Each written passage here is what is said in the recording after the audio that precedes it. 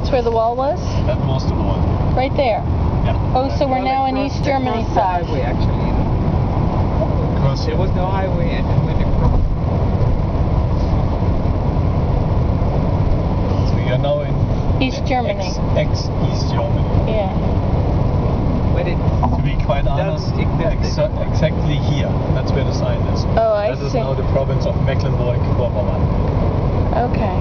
So we left Schleswig-Holstein, where we live, and we are now in the other province of Mecklenburg-Vorpommern. And so the wall was the same height all the way around the whole country? All the Or- same. Okay. And that was countryside. There was not a street here, not a highway. Right. So that was countryside. Further up in the north, there's a there's a small uh, uh, country road. That's where the where the border was, where you could get through hmm if you are allowed to get through. UNESCO biosphere.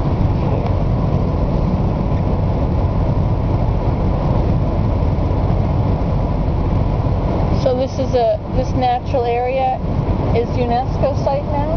No, no, the the lake, the Schalsee, Oh, I see. Schal Lake. Okay. It's probably a lot of different, you know, a lot of things because of the border uh, kept completely natural. I see. Like people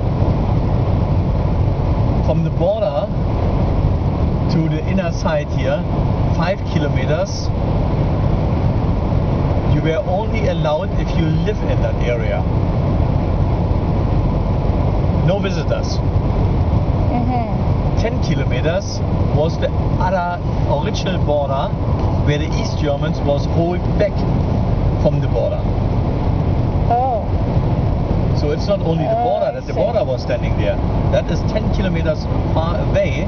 That is the Oh. border line where the soldiers were standing, and you were asked, "What do you want? Why do you want to continue to towards the wall here?" So, and five kilometers before, you are not allowed to do anything unless you live in that area. Like some villages, they were all registered and they're, they they've been all uh, looked for that they, they, that they uh, be good with the country, with the government. Otherwise, they wouldn't be allowed. They would be settled over to another place inside the country more. hmm So you know the border is not not the border what you've been thinking.